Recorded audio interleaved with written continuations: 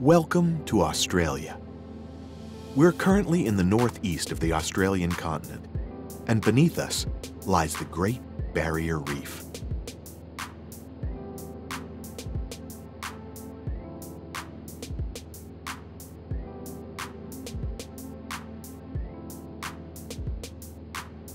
The magnificent clear water stretches as far as the eye can see.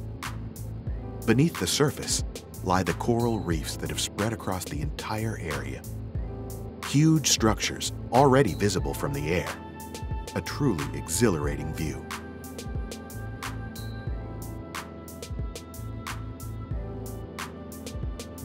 What we can't see from up here is an astonishing variety of life forms waiting for us in the reef's depths. They are the reason for our visit to this marvel of nature.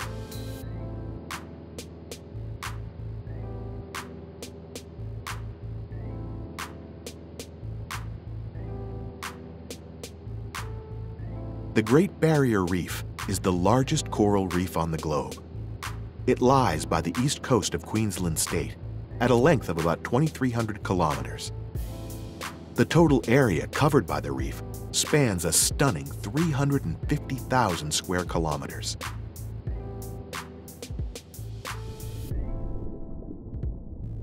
It's home to an incredible abundance of life, 2,600 types of fish, 600 types of corals, and clams up to 120 years of age are among its inhabitants. Since 1981, the Great Barrier Reef is part of the UNESCO World Heritage.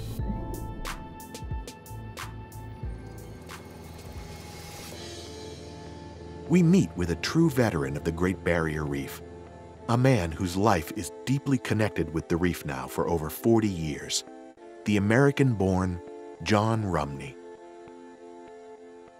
In 1974, I came here to Australia to uh, experience the Great Barrier Reef. I didn't really know. I'd read about it in National Geographic and books, and uh, came up the coast, and in fact went out of Cairns to Green Island and that was the only tourism. There was no, everything you see today, the $6 billion industry, 60,000 people, none of that existed. It was just a few fishing boats and this one ferry that used to go to Green Island. And got there, jumped off, and it was amazing, mind-blowing. The dance of life, the next hour that you're in the water, you will see more animals than you will the rest of your life.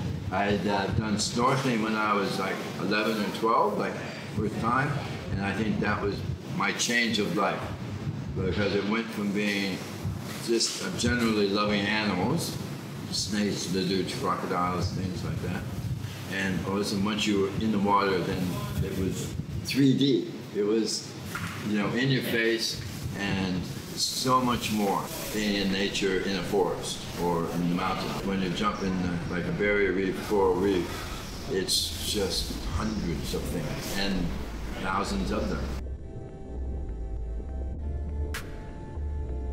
Once we start diving below the surface, we have to agree with John Rumney. It's overwhelming just how colorful, alive, and densely populated the reef happens to be.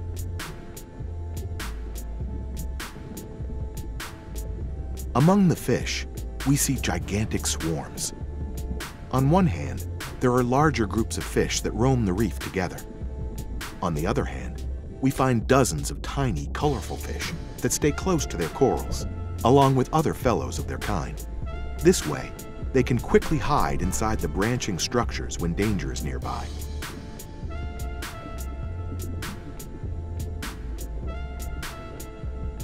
Of course, the corals themselves are a feast for the eyes. With over 500 different species that inhabit the reef, the corals impress with countless forms and stunning colors.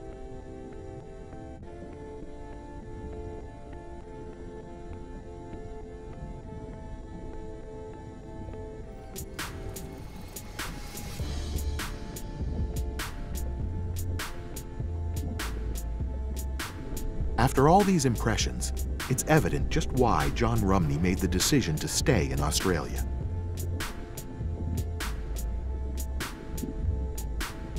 He started out in the fishing industry and later went on working in tourism. During this time, he made use of every opportunity to snorkel and enjoy the enchanting act that presented itself underwater. This way, he experienced the spread of tourism firsthand. In present day, it's an industry that employs over 60,000 people at the Great Barrier Reef alone and makes annual sales in the billions.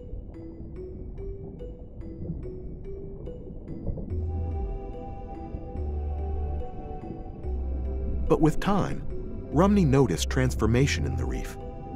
Throughout the years, a grave problem began to appear that now turned into a threat to the rich diversity of species in the Great Barrier Reef. A growing number of the corals are dying. It's been an evolution. Uh, coming first seeing the reef in an incredibly vital, vibrant, pristine condition, and now over the years it's just decreased over time. And with this last bleaching event of 2016, it's been like it's, it's so emotional. It's completely changed that you went, wow, this was a, a global warning. This is the canary in the coal mine. This was the, the turning point for me that we know we must really act now, uh, or we will lose the barrier reef. We won't lose all the coral in the world. No, but we might go into the dark ages of coral. Like it won't be what we see today. We won't have the fish. We'll lose the biodiversity. We'll even possibly lose our food security. We are, out of our ignorance and lack of commitment, really tampering with the basic uh, physics of the ocean. And that could be catastrophic. The bleaching event that John Rumney refers to bears this name for a reason. Actually, the term is quite fitting. A major part of the reef consists of limestone, naturally of white color. It formed from coral excretions and functions similar to a skeleton. The corals receive their varying colors from a symbiotic relationship with different types of algae, a relationship of mutual partnership. The algae supply the corals with oxygen and energy. But these algae are very sensitive when it comes to their environment. A change in the water's chemistry, or just a change in temperature, can cause a devastating chain reaction that kills off the symbiotic algae and thereby results in the death of the corals. This way, the bleaching event of 2016 caused a vast number of algae and corals to die off, leaving nothing but blank, white limestone. This became the term's infamous origin. The event left nothing but a spooky wasteland. It's even more frightening when one knows of the abundance of life that populated this place just recently. With this in mind, the dead corals appear just like a large pile of carcasses, almost resembling a Dunning graveyard. However, this hasn't been the first time. Between 1985 and 2012, the total coral covering of 28% shrunk by more than half of that amount, to an alarming 13.8%. Further drops ranging from 5 to 10% over the next 10 years are thought to be inevitable, caused by humanity's emission of carbon dioxide.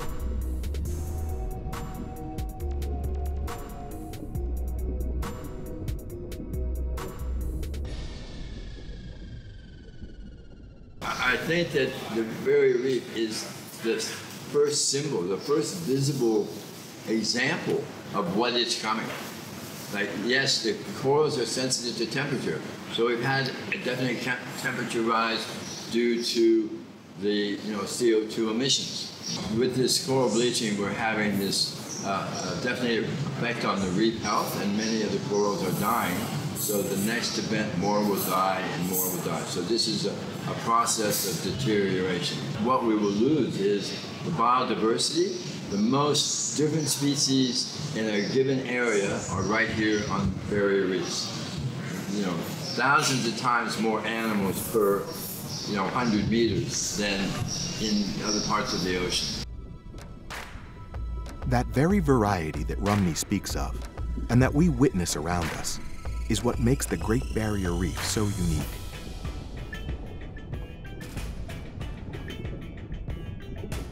But where does this variety come from in the first place? First and foremost, it's the work of the corals themselves.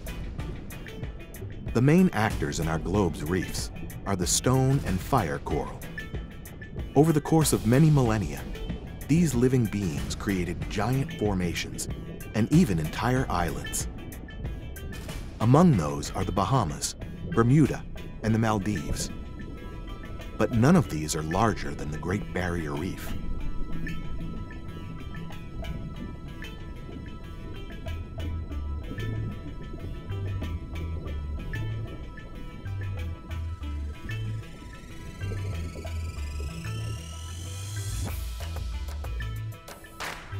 Corals even compete with us humans as the constructors of the largest connected structures on our planet. Corals, being part of the group Cnidaria, achieve this by constantly releasing limestone. The Symbiodinium, a microorganism that lives in a symbiotic relationship with the coral, helps with the calcification and supply. The Symbiodinium supplies the coral with hydrogen, and when it comes to the water's temperature, they're very sensitive. It always has to remain between 20 and 30 degrees Celsius, which is why they're mostly found in flat, tropical, and light-flooded waters. Stone and fire corals are nothing but gigantic colonies of single polyps. Every single polyp is only about one centimeter in size. Despite the food supplied by their symbiotic partners, their diet consists mostly of plankton organisms that they catch using their tentacles.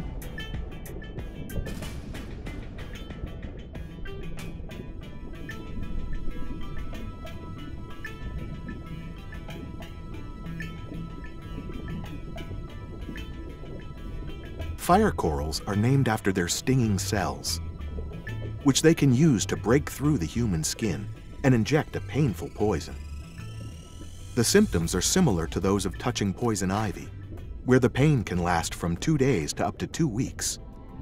The injuries can even lead to scars that sometimes remain visible for a lifetime. Divers should be especially careful not to make the common mistake of confusing a fire coral with seaweeds.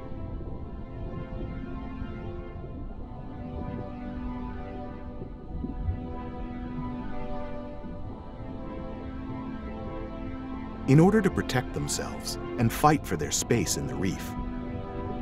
Corals make use of so-called defense polyps that are larger than the normal ones. They can use them to inject a poison into the opponent's tissue, thereby destroying it entirely. When it comes to the spreading among sessile species, the ones that are unable to move about, fire corals are very successful. In the battle for light and space, they can overgrow their rival very effectively as they grow relatively fast. But they're unable to do so without a symbiotic relationship with the Symbiodinium. And that very species is in grave danger of going extinct. The bleaching event of 2016 didn't just startle John Rumney. The reef is the first symbol or the first sign. It's the fever. Oh, we better go to the doctor. Oh, look, looks like you might have cancer.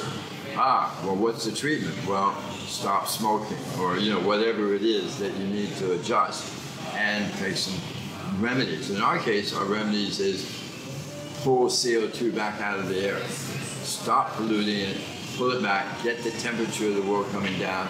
But what this CO2 is doing is changing the acidity of the ocean. CO2 in the air, CO2 absorbs to the water. Straight physics. There's no political agenda here. Just straight physics. What does that do to the animal life in the ocean? Well, it affects it. It stops being able to make its skeletons. The corals won't be able to lay their, themselves down. But everything that's making the oxygen in the ocean today, the zooplankton, the bulk, you know, uh, is related to the water chemistry. As we can see, this coral reef is a highly sensitive and fragile structure. And since the reef is home to thousands of other species, this presents a grave danger.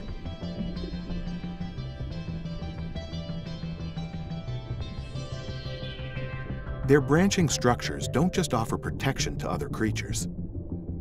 Their miraculous ability is the transformation of nutrient-poor areas into flourishing oases.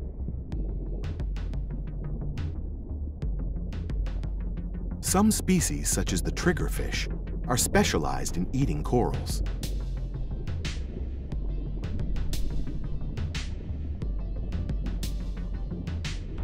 Without this highly specific source of food, they would quickly starve out.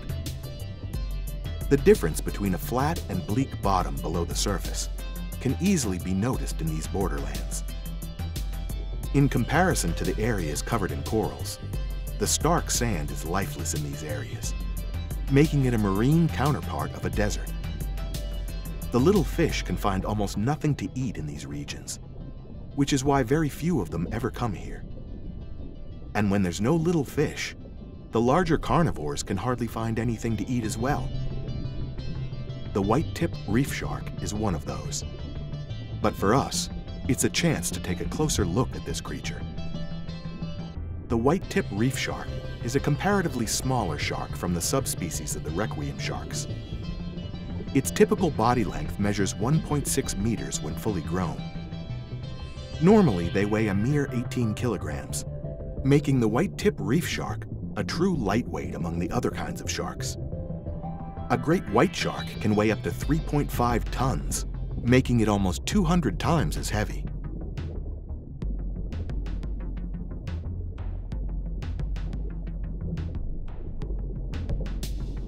The white tip reef shark is recognized by the white tip of his first back fin. Sometimes other fins have the same coloring. Further characteristics are the slender body and the short and broad head with its rounded nose.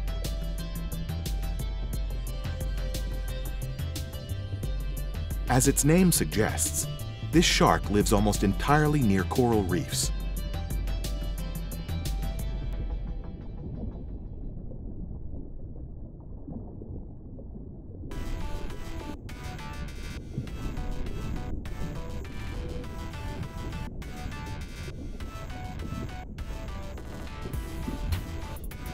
As we can see here, the white-tip reef shark moves with the help of an intense wriggling movement.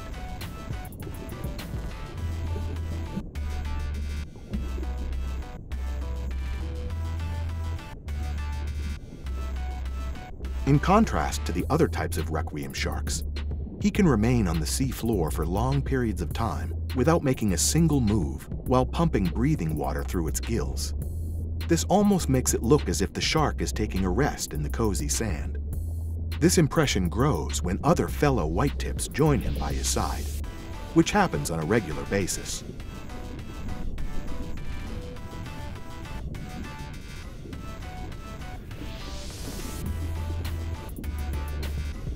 Unlike other sharks, these little fellas don't have a territorial behavior. In other words, they aren't bothered by fellow white tips in their vicinity.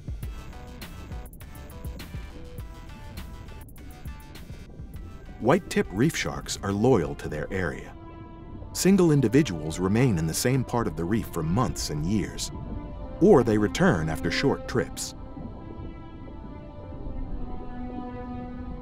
It's rare that they swim across longer distances and find a new place to settle down. That's why their neighbors are of great importance to the white tips. And John Rumney wishes that we humans would take that into greater consideration. As an individual in your house, in your apartment, you're not allowed to put your waste in your neighbors. But it's okay if industry does it. It's okay if we collectively do that because it's not really visible. But the billions of dollars that are being spent by the fossil fuel industry to lobby, influence decisions, do false science, and that is really criminal. Like the, in the years to come, we there's now the War Crimes Court.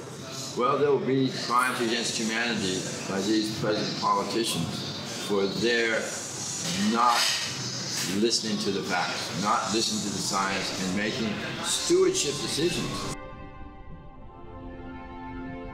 That's why Rumney and his colleagues would like to explore the reef on their own. They want to engage in independent studies on what exactly goes on in the reef. Part of that are dives during the night, an activity that very few tourists would even take into consideration.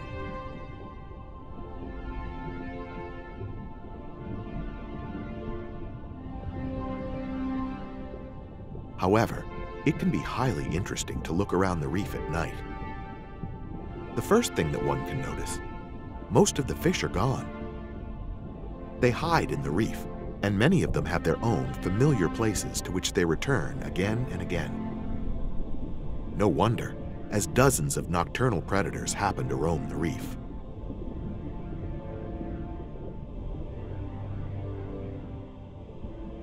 But even the corals have an entirely different nightlife.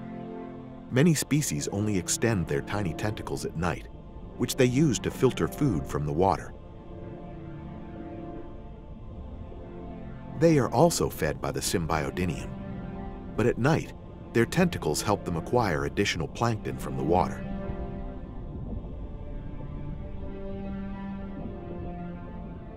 The skeletal growth of the algae also increases at night. An enzyme that encourages this growth has been measured at double amounts during nighttime. The reproduction of many types of stone corals is also controlled by the phases of the moon. But that's only one element that makes it a complicated process among these creatures. Most types of soft corals are male or female, but there are exceptions that can be hermaphrodites, meaning that they are both.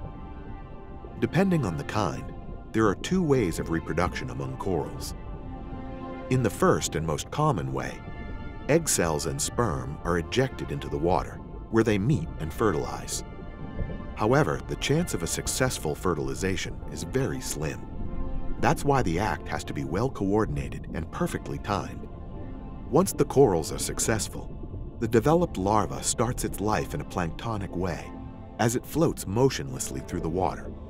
Only when it reaches a reef does it settle down and convert itself into a founding polyp of a potential colony. Another way of reproduction among corals is the sole ejection of sperm. It then fertilizes an egg cell that remained with the polyp and hasn't been ejected. The larva is given away into the water after days or even weeks. By that time, they're already prepared for their transformation into a polyp. As we can see, dozens of things can go wrong in the reproduction process of corals. But that's nothing compared to the problems that other species face as a result of human influence on the seas. The experts on the Great Barrier Reef agree that something has to be done, and it has to be done Don't urgently. just do business as usual. Think.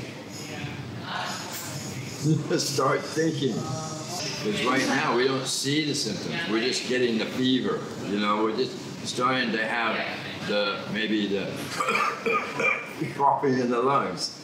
Uh, so, you know, oh, so what are we going to do? What, what's our medical treatment? Well, stop putting CO2 in the air. Find ways of pulling CO2 out of the air. Just manage. We're the ones. Our standard of living, our air conditioning, our heating, our cars, our luxury, all the science that we have and we're spending is really part of the problem. Of course, our technology doesn't only have a negative effect, and that counts for the reef as well. After all, It helps us in our research of these underwater worlds. And as Rumney has said himself, it's important to interest people in the reef and sensitize them to its problems. Electronic media can be of great help in this matter, which is why we continue our journey through the wonder world of the reef. Another stunning phenomenon that we witness are fish swarms.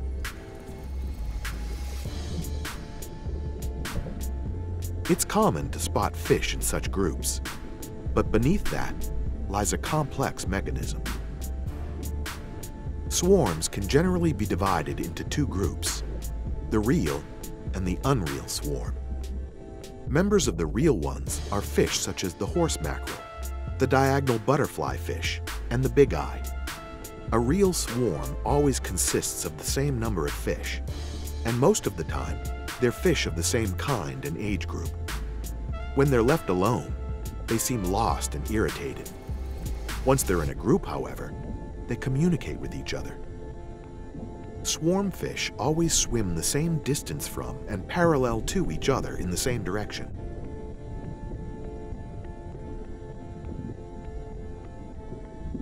The fish often have a silver coloring, which enables them to shine and blink in their maneuvers, thereby irritating approaching predators.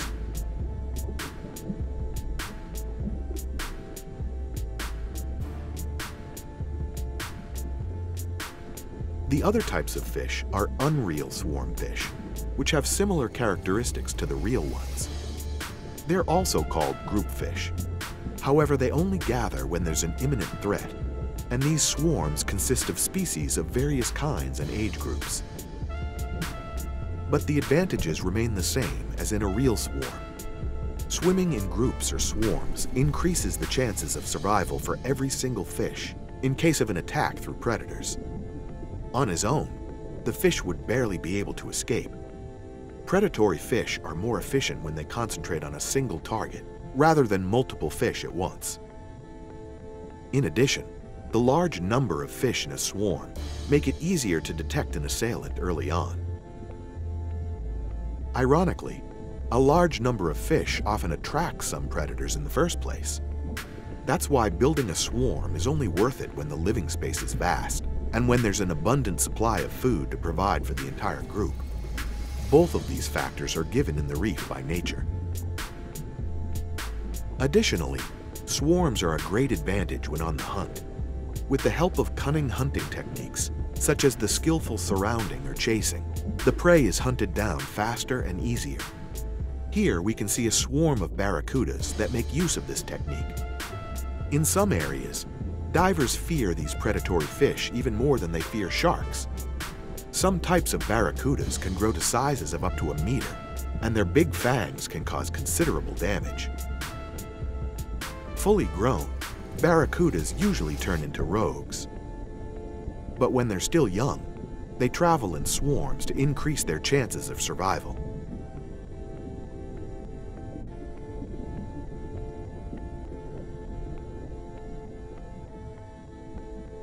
For us as spectators, these colorful swarms present us with a selfish advantage. They're a marvelous sight to see.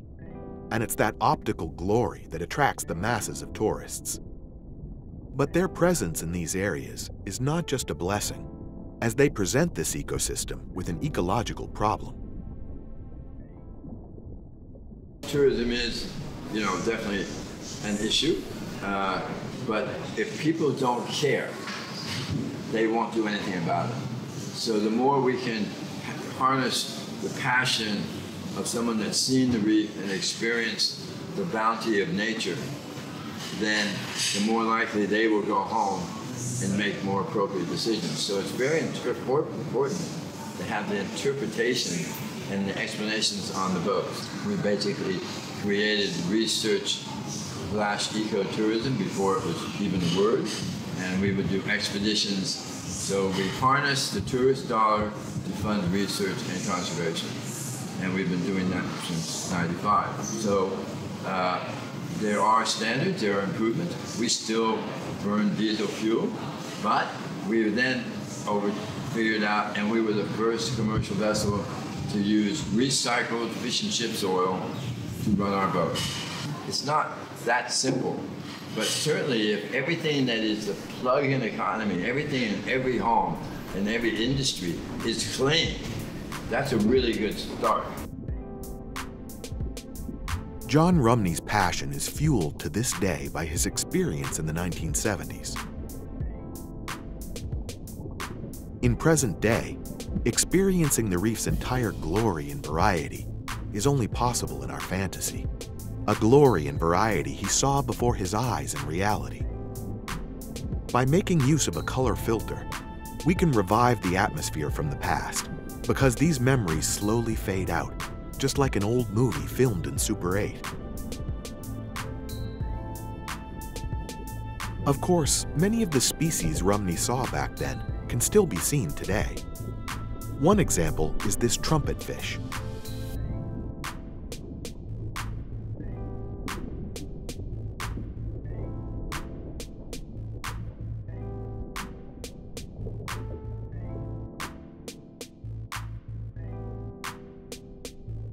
Despite his amusing looks, this creature is a flesh-eating predator. His form, which might seem awkward to us, is the trumpetfish's disguise. Sometimes, this fish even stands upright among soft corals and seaweed, while imitating its movements to appear entirely harmless. But once the prey comes too close, the trumpetfish seals its fate in rapid movements.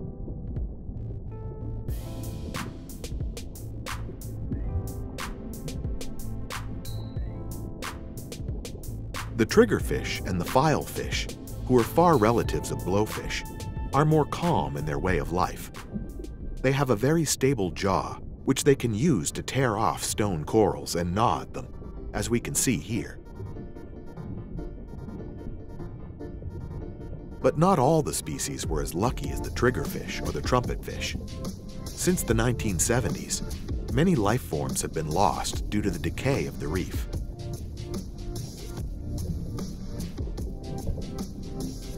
Today, the Great Barrier Reef is different than it was in the past, and that is clearly proven by the numbers. But that's just why Rumney doesn't give up his fight to at least preserve the present-day status of the reef.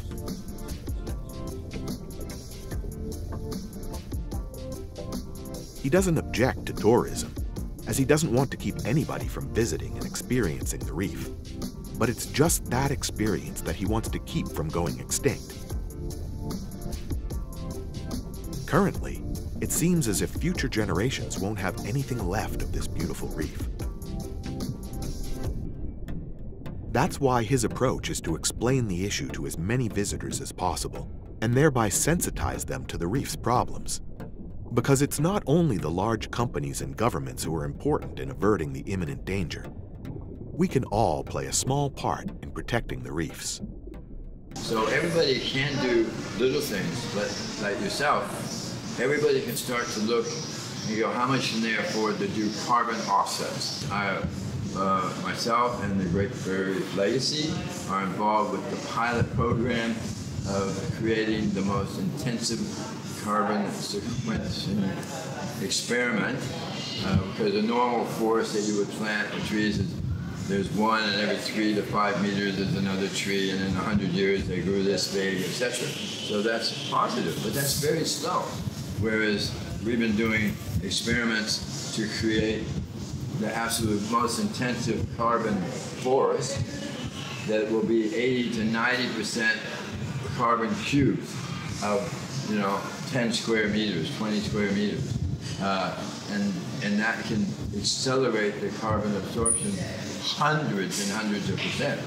So this is a bit subtle, but once there is a price on carbon, if it's around $10 or more, then the sugarcane industry, farmer may make more money with less work by bringing carbon in. And that is the solution because we not only have to stop what we're doing, we have to pull back so, so immense amounts in order to get a stable temperature. And we have two major threats. The biggest, even identified by the Great Barrier Reef Marine Park Authority, is that the, the climate change, the CO2 emissions, is causing increase in temperatures and therefore will affect our reef.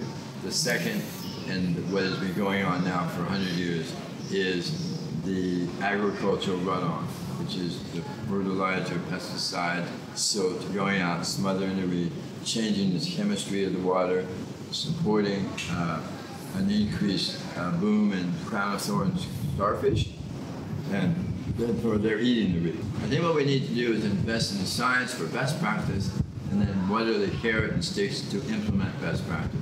If we as a society want to save the Barrier Reef, then we should help the farmers get there. It's not their fault. I mean, they've been, you know, doing this for 100 years. So if now it's important to do, we should make it financially viable for them to do that. Just like the many different fish, corals, and other species cooperate in maintaining a functioning ecosystem, we humans should work together in order to preserve this variety.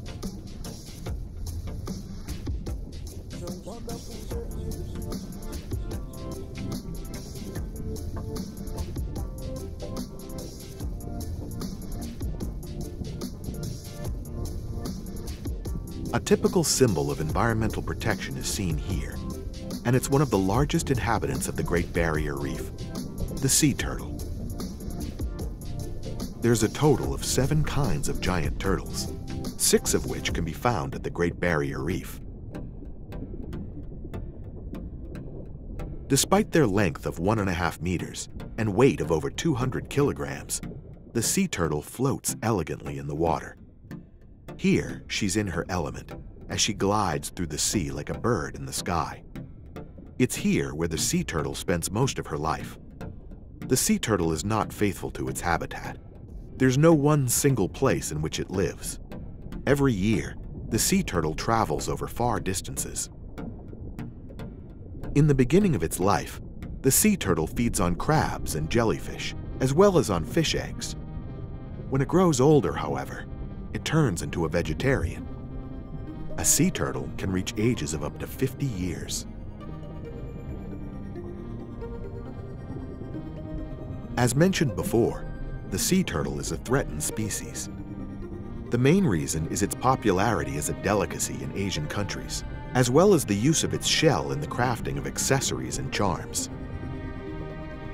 Since 1979, it's illegal to catch and trade with sea turtles.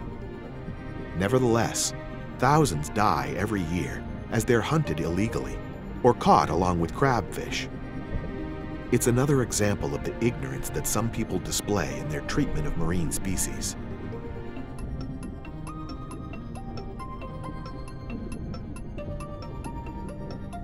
It's this very behavior that John Rumney denounces, as he wishes that people would have more respect for their environment and would start to give it more thought. If that doesn't happen, the condition of these breathtaking reefs and its sympathetic inhabitants will worsen significantly. Australia is now leading the world in being, you know, arrogant and really, really stupid in uh, trying to, because they are listening to their uh, fossil fuel industry lobby groups and really making decisions based strictly on that. There's so much evidence that you know, in, in, the common jargon from the common people, there's protest, and it's like coal, not coal. Right? Keep the coal in the ground, and we have a chance. If you keep putting the coal, CO2 in the air, we're going to reach tipping points, and we don't, don't even know where this. You know, we have these estimated, you know, temperature rises that has not even begun to calculate the methane and the tundra and all these other things that may happen. And they, you know, huge areas of Africa and the Middle East and Australia will be uninhabitable with four to six degrees more centigrade in temperature. So that's where we're heading. That is business as usual. For many years now, Rumney has been actively engaged in the protection of the reefs. That's why he can be considered a trooper or even a veteran of the reef. But among the inhabitants of the reef, there lives someone who's a real old-timer, in the literal sense of the word, the giant clam. Giant clams can reach an age of up to 100 years, Their tough, enduring shells, which remain well after they pass on, can grow even older. The great giant clam is the largest of all known species of clams. They can reach lengths of up to 140 centimeters and a body mass of up to 400 kilograms. All giant clams live in the Indo-Pacific region and populate coral reefs. They live together with symbiotic algae that live in their lips and provide the clam with food and oxygen. For quite some time now, giant clams are a threatened species due to overfishing and pollution. That's why they're now under species conservation. There are attempts to conserve this species by aimed breeding. As giant clams can form large pearls, they are often subjects of myths and legends. Sometimes they're called murder clams, as they supposedly snap for divers and other species and keep them from escaping the depths of the sea. In reality, the closing movement of clams is very slow. The enormous diversity of species in the coral reefs brings up new discoveries on a regular basis. Despite the many fish that we're familiar with, we find out just how complex and interesting corals are, as they're very different in comparison to other life forms. But in their many different forms and colors that can be observed in every part of the reef, they are not alone in their eccentricity. Here we have another obscure life form, similar in its color to these bluish corals. A starfish. This creature appears in the form of a five-armed figure. The arms can almost remind one of a bunch of sausages, but they can also have the appearance of a traditional star with five straight ends. Or it can be so round that it almost looks like an urchin that lost all of its needles. Many starfish can reproduce lost limbs when they're torn off by other fish, or they can drop them for their protection. Far relatives of the starfish are the sea cucumbers. At first glance, one might not even recognize them as an echinoderm, a life form with needles growing from its skin, as they don't have the usual five straight ends. The muscular and elongated body has an opening for a mouth at its front end, surrounded by five rows of tentacles, a characteristic that gives insight to its relation to other life forms. Instead of a skeleton, the sea cucumber has a strong hose of muscles, consisting of ring-lengthwise musculature. This sediment-eating kind, which we see here, crawls across the seafloor and thereby gathers the sediment that contains organic components. Those parts that the sea cucumber can use are digested, while the indigestible mineral sediment is excreted. That's why these sea cucumbers can also be called the vacuum cleaners of the sea. They help in keeping the reef clean and tidy. Even though they're not a pretty sight to see, sea cucumbers have interesting characteristics, as well as an important task in the reef that isn't evident on first sight. If we as humans want to understand these relations, we have to conduct further research. Even at the Great Barrier Reef, not all of its species are yet known In man. fact, every time we do a research expedition with experts that know a certain thing, we find new species.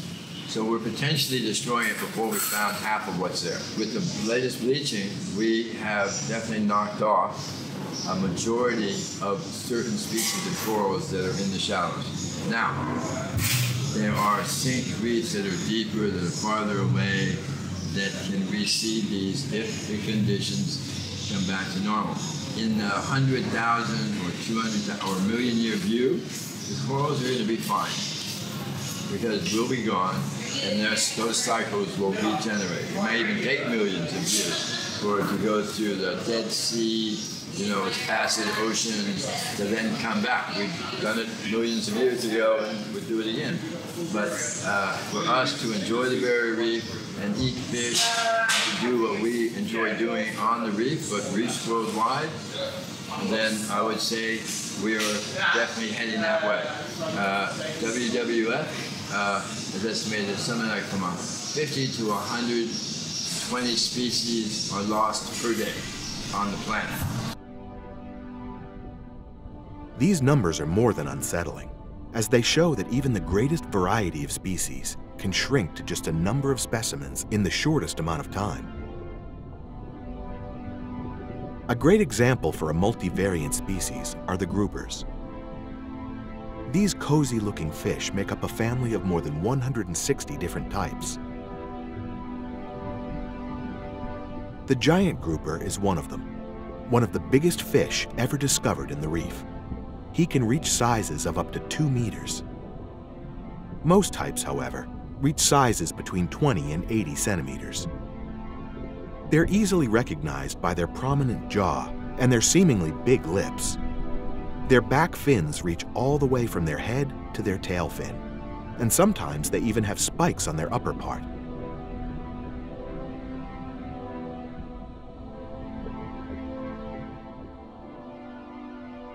Groupers only gather in larger groups for reproduction. Other than that, they mostly live on their own. They mostly protect a certain territory in the reef, or at least their own caves. And about caves, the many caverns and hiding places in the reef are a great advantage of this habitat. Even larger types of fish enjoy the protection of these limestone structures. Sometimes even in larger groups, as we can see here. Because it's not only the groupers that place great importance on their very own cave. A creature that is especially serious about the protection of its home is the moray. This creature, looking similar to a snake as it doesn't have any fins, has a very sharp set of teeth, forcing intrusive divers to be careful with their fingers. And the Great Barrier Reef, with its vast coral reefs, offers the perfect hiding place for these creatures. Depending on its size, a moray can have multiple hideouts that may lie apart for up to 200 meters. Smaller types of morays almost never leave their home, and only hunt inside their caves.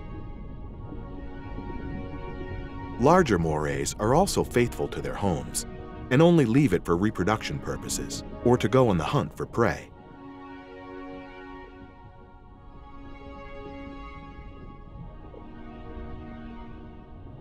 Groupers are also carnivores.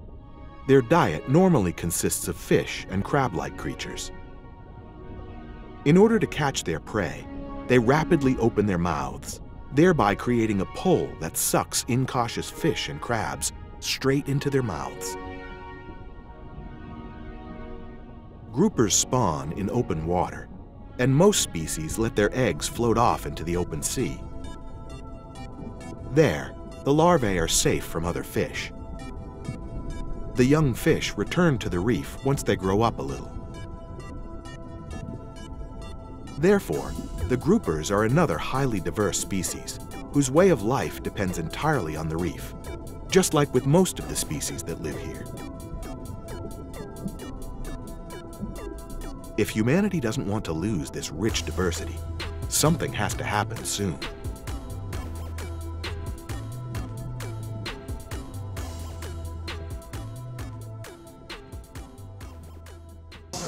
Just do business as usual. Think. Stop putting CO2 in the air. Find ways of pulling CO2 out of the air. The sooner we stop, the sooner we have a chance of having a healthier world. The Great Barrier Reef is just one of the most magnificent places on the planet. It's still fantastic to come here. It's worth saving, so let's get on with it. A clear message from John Rumney, whose passion and energy will hopefully inspire many people to become active in the field of environmental protection.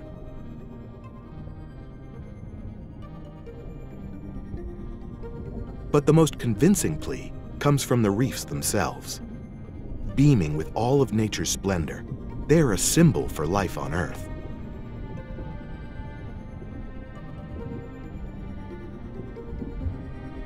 While we let these pictures sink in, we should keep one thing in mind. All these fascinating species which we've met on our journey are potentially endangered. Nobody should have a bad feeling when enjoying this splendor. But we should never forget, despite only covering about 0.2% of the seafloor, they are home to more than 30% of all marine life.